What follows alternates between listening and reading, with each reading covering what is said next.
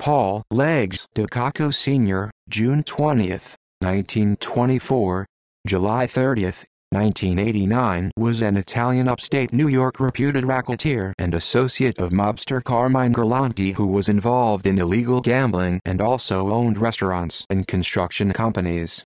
A longtime gambler with numerous minor convictions for illegal gambling, DiCocco was connected to New York's underworld.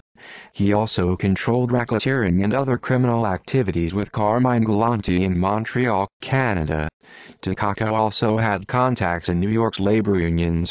He and Nicholas Robillotto, president of Teamsters Local Number 294 in Albany, New York were eventually investigated for conspiring to underbid rival construction companies.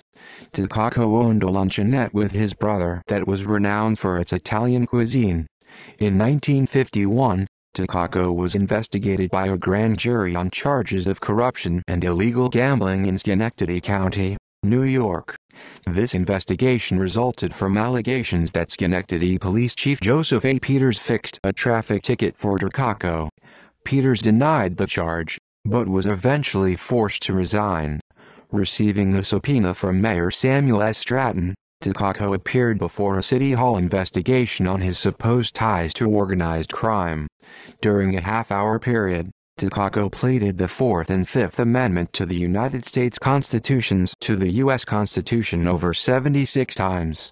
In 1977, DiCocco was indicted on contempt and perjury charges. Shortly after his first trial ended in a hung jury, DiCocco accepted a plea bargain to obstructing governmental administration and contempt. DiCocco received three years probation and a $1,000 fine. Paul had ties in Syracuse, New York with prominent business owners. He is related to the DiCocco, Tessitore, Iavinella, Cuomo and Viscusi families. In 1988, DiCocco was released from probation due to bad health. On July 30, 1989, Paul DiCocco Sr. died from complications from a previous heart transplant.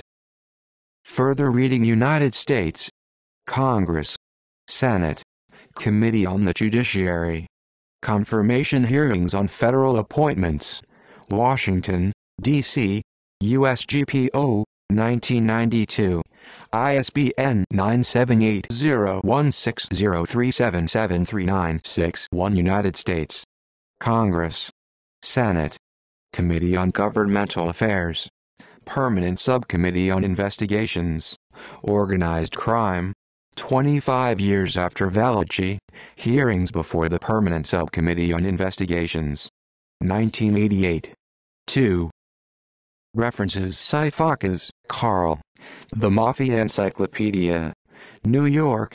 Da Capo Press, 2005. ISBN 978-0160-5694-1. External links Schenectady. Landmark Eatery set to reopen to DiCocco's part of Rejuvenated, Little Italy by Matt Volke Schenectadyparking.com. Notable residents